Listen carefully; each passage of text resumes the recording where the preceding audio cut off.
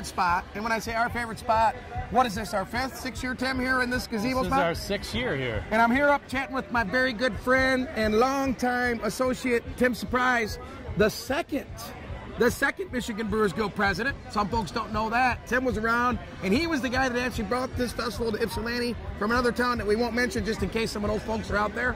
But he was the guy that brought this festival here many, many years ago, and you got the gazebo spot, and you started a river trend. Tim, talk to us about what's going on and what, what's happening in the Well, world it was kind of fun uh, six years ago when uh, Rick Suarez, our sales manager, Josh Davies at the time, our head brewer, they saw that the gazebo was empty. Nobody was really paying any attention to it.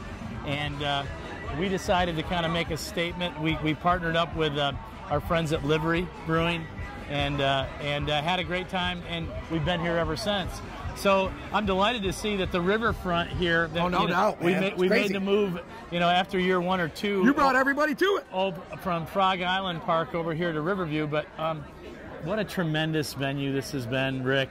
Uh, I mean, the, the breweries, the, the, the, the space itself has kind of evolved so that there's a lot of excitement from the beginning to the end and everything in between. So give the guild and, and, and, our, and our craft brewing culture a lot of credit. Well, and it's tough to keep Tim's attention because the duck just went by, and, and of course he's, you know, immediately focusing on it. Tim's a river guy, and if you don't know, uh, Tim and Arcadia have expanded over the last year, two years now. Probably feels like five by now, but they're in down Kalamazoo, in downtown Kalamazoo, right on the river.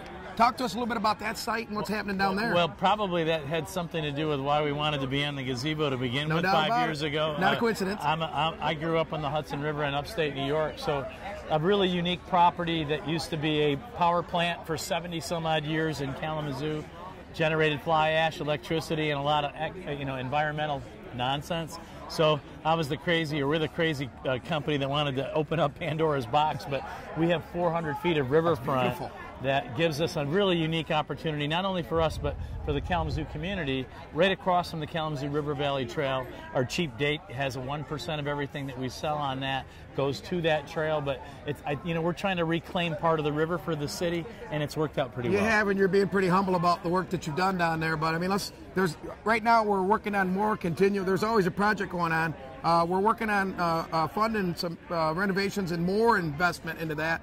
Uh, let's, let's talk a we, little bit we have a 400 foot riverfront garden and launch project going that gives us uh, the chance to have a canoe kayak launch, um, a, a- council fire circle pit, uh, an outdoor venue stage uh, that gives us the chance to do a For lot the of public. yeah, and and uh, a regulation shuffleboard court, a a uh, putting green for disc golf, and uh, and uh, a- just a really nice outdoor space that's very distinctive and unique in Kalamazoo. So, really privileged to be the stewards of that. Well, if you haven't been down there yet, please uh, trust me on this one. Make a trip down there.